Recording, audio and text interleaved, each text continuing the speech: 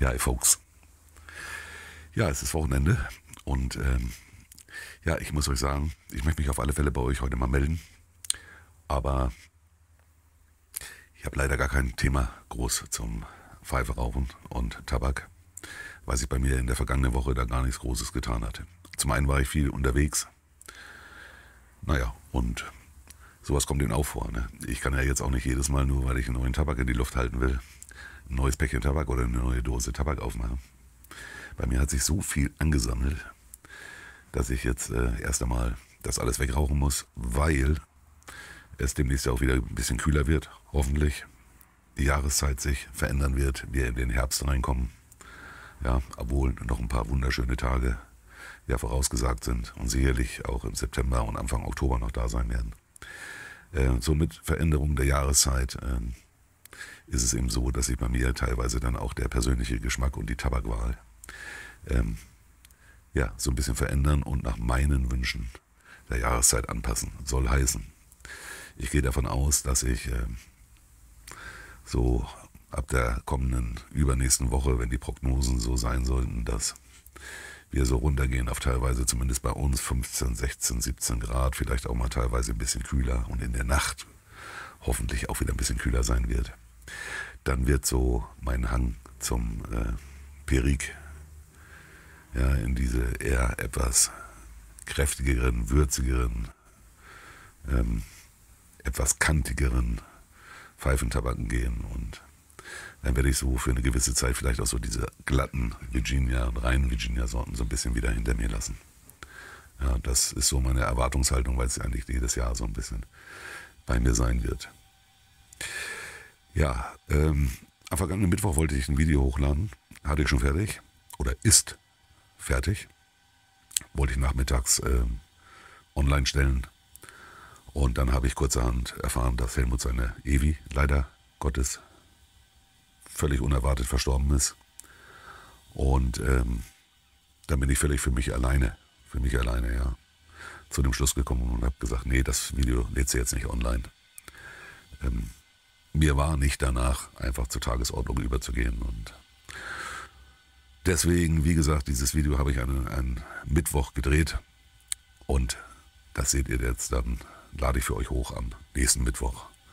Ja, also nur für, schon mal für den Fall, wenn ihr merkt, das Wetter ist vielleicht ganz anders als das, was ihr in meinem Video dann feststellen wollt. Dann wisst ihr, das passt einfach nicht zum jetzigen, heutigen Tag, sondern ist schon eine Woche alt. Und ja, ansonsten ist klar, ich habe es dem Helmut ja auch schon persönlich, sowohl schriftlich als auch mündlich mitgeteilt, dass mir das sehr, sehr leid tut. Und ich weiß natürlich, ich weiß natürlich, dass wenn wenn man mit jemandem gemeinsam durchs Leben geht, ein Lebenspartner, egal ob Ehefrau oder eben nicht verheiratet. Und wenn einer von den Zweien geht, dann zieht es dem Verbleibenden den Boden unter den Füßen weg. Das ist ganz klar. Restlos die Füße unter dem Boden weg. Denn äh, der Partner der weiß ja hoffentlich nicht nur um die Stärken, sondern er kennt auch jede Schwächen und man ist sich vertraut und also das ist schon ganz übel, wenn Eltern ihre Kinder verlieren oder eines ihrer Kinder verlieren. Und wenn man den Partner, mit dem man gerne gemeinsam durchs Leben geht, wenn da jemand verstirbt, das sind ganz, ganz üble Momente. Und ich drücke also da die Daumen, dass der Helmut ganz schnell wieder, möglichst schnell, so einfach geht das ja nicht, aber möglichst schnell wieder, ja, ein bisschen auf die Beine kommt. Okay. Ja, ähm, wie gesagt, habe kein besonderes Thema, möchte mich aber trotzdem bei euch melden. In Sachen Tabak kann ich euch auf alle Fälle eines berichten. Äh, ich hatte euch ja das Video gemacht, Video online gestellt, als damals äh, Schilde in Essen seinen Online-Vertrieb eingestellt hat und ich das sehr bedauert habe, dass es den Golden Virginia Nummer 4 nicht mehr gibt. Und ich hatte ja damals schon angekündigt, dass ich äh, sowohl bei der Firma Schilde ja, oder bei Herr und Frau Schilde und als auch bei Kopp mal nachfragen will, äh, wo ist denn der Ersatz, beziehungsweise wo gibt es diesen Tabak unter einem anderen Namen. So. Ähm, am 3. August, Samstag, den 3. August, habe ich geschrieben an Kopp.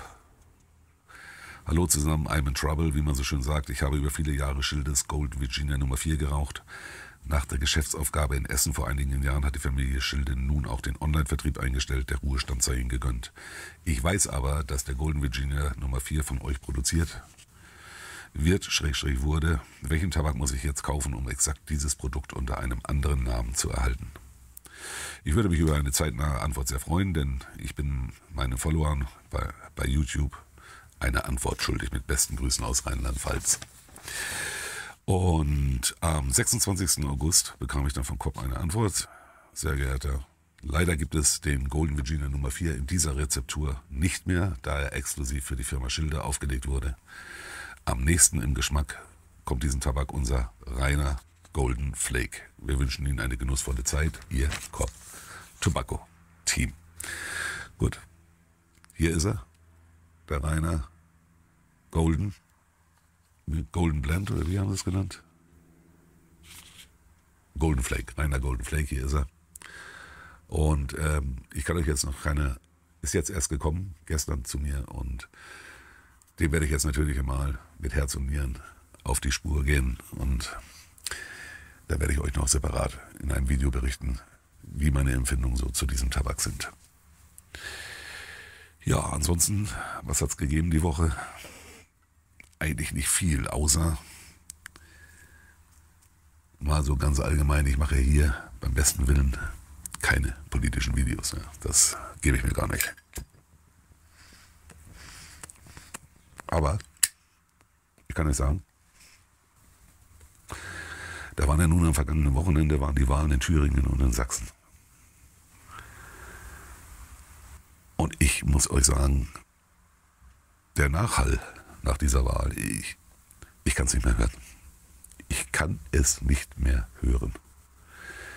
Diese ganzen Versteher und die ganzen Experten, die sich da durchs Fernsehen durchschlangen und jede Talkshow ihren Hintern bereit sitzen und dann schlaue Sprüche machen. Ich kann, ich kann das nicht mehr hören. Ich kann es auch teilweise nicht mehr lesen. Überall schießen irgendwelche Experten aus den Ecken und meinen, erklären zu können, warum und wieso solche Wahlergebnisse zustande kommen.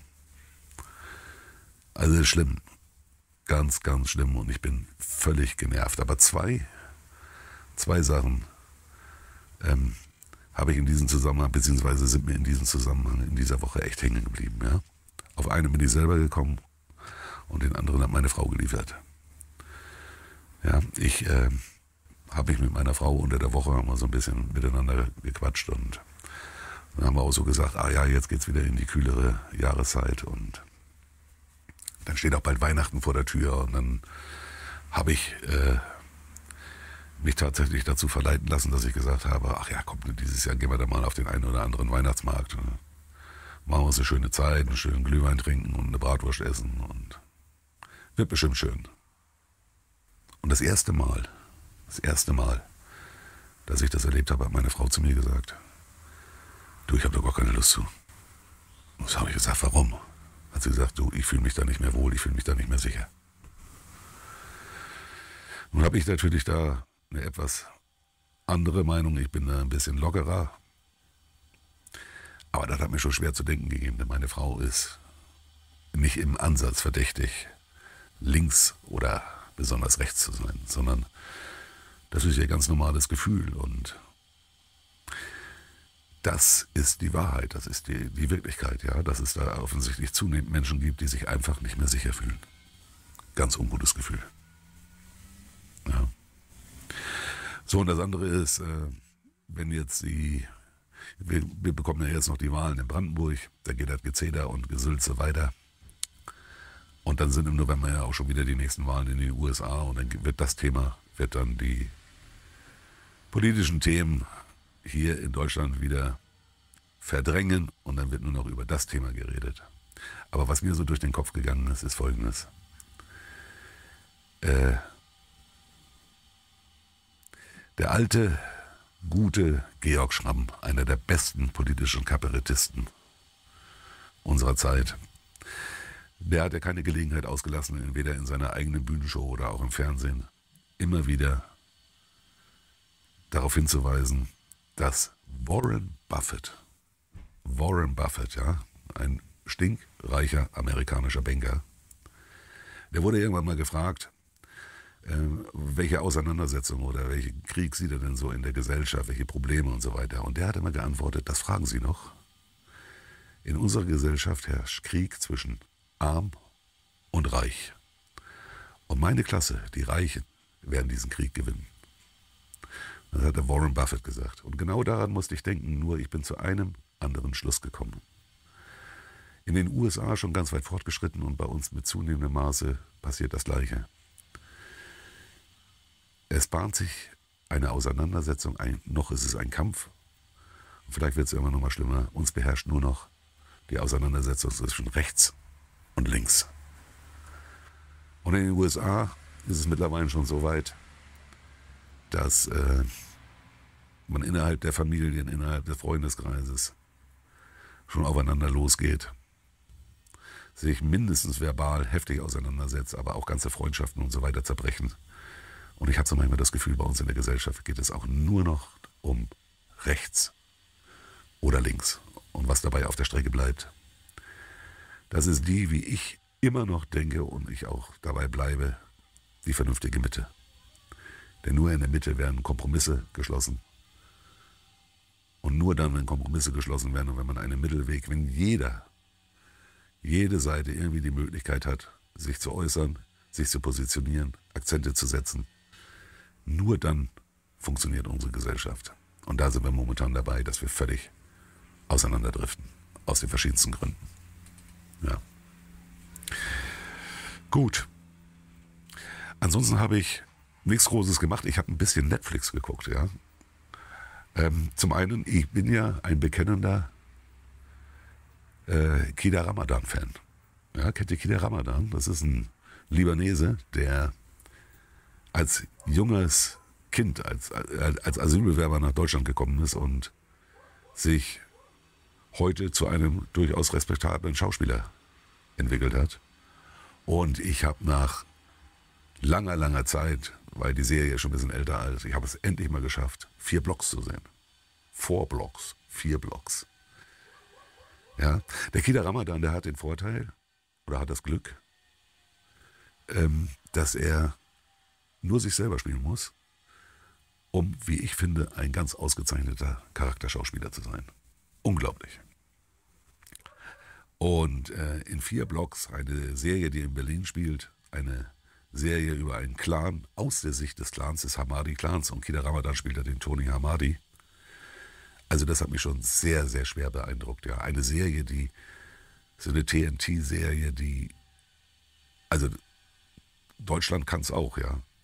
Eine sagenhafte Serie mit Spannung, mit Authentizität, mit sensationellen Kameras und wirklich auch überaus mehr als respektablen schauspielerischen Leistungen. Also, ähm, wer diese Serie noch nicht gesehen hat, läuft bei Netflix noch. Und ich meine, auch bei Amazon weiß ich es aber nicht genau, aber bei Netflix weiß ich es ganz sicher. Äh, vier Blogs müsst ihr euch anschauen.